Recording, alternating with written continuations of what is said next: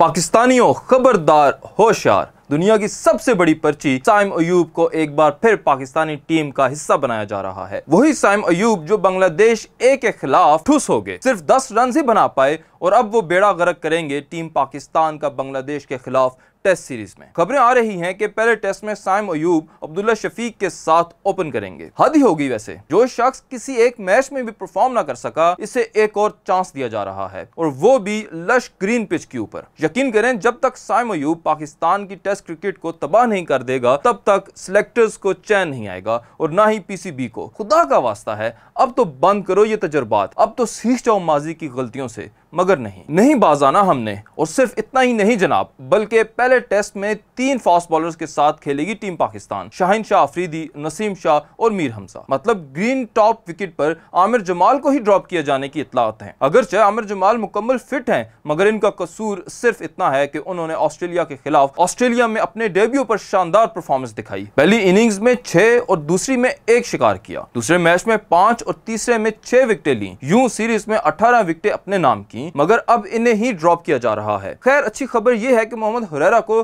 Debut कराने की खबरें आ रही हैं। फैसला तो बहुत अच्छा है, मगर साइम अयूब को खिलाकर हुरैरा को फिट किया ही नहीं जा सकता टीम में। साइम अयूब डेब्यू के हकदार हुरैरा का हक खाते नज़र आ रहे हैं। ऐसे में सवाल यह है कि बांग्लादेश के खिलाफ पाकिस्तान की प्लेइंग इलेवन क्या हो? खुरम शहजाद को भी क्यों नहीं खिलाया जाएगा? तेज विकेट पर सिर्फ़ तीन फास्ट बॉलर्स खिलाने का क्या नुकसान हो सकता है? क्या सात बल्लेबाज खिलाना डिफेंसिव अप्रोच नहीं? और क्या सलमान अली आगा को ड्रॉप तो नहीं किया जा रहा?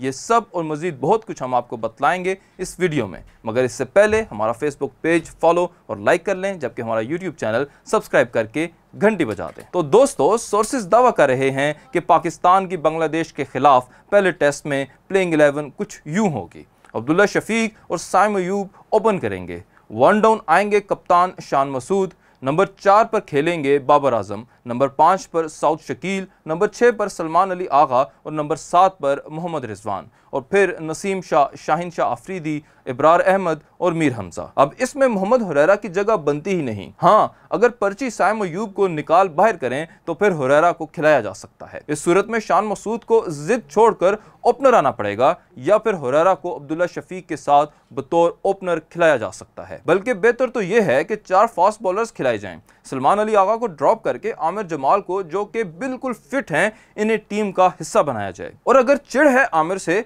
तो फिर खुरम शहजाद को ही खिला लें। लेकिन नहीं, हमें तो डिफेंसिव अप्रोच को कहीं ना कहीं बरकरार ज़रूर रखना है ना। हमें डर है कि हमारे बैटर्स ग्रीन विकेट पर अच्छा परफॉर्म नहीं कर सकेंगे। इसलिए सात बल्लेबाज खिला रहे हैं हम और कुर्बानी दे रहे हैं एक फास्ट बॉलर की। ऊपर से ये बहाना कि ब्रार अहमद सिर्फ़ एक रेगुलर स्पिनर है टीम में, इनके साथ part time spinner Salman Ali Agha को खिलाना ज़रूरी है। तो भाई तेज पिच पर एक स्पिनर भी काफ़ी होता है, मगर याद रखें कि अगर हम तीन फास्ट बॉलर के साथ गए और इस कदर शदीद गर्मी में एक आधा फास्ट बॉलर भी इंजर्ड हो गया या फिर परफॉर्म ना कर पाया तो बहुत बड़ा नुकसान होगा हमें। बांग्लादेशी बैटर्स बड़ा स्कोर करने में कामयाब हो जाएँगे। वैसे हो ये भी सकता है कि हुरैरा को खिलाकर सलमान अली आगा को ड्रॉप कर दिया जाए। यानी सिर्फ़ और सिर्फ़ साइम अयूब को खिलाने की खातिर अगर ऐसा हो गया तो फिर ये बहुत बड़ा डिजास्टर होगा डिजास्टर अब आप कमेंट करके बताएँ कि आमिर जमाल को टीम का हिस्सा होना चाहिए या नहीं। और हाँ वीडियो को लाइक और शेयर भी ज़रूर करें।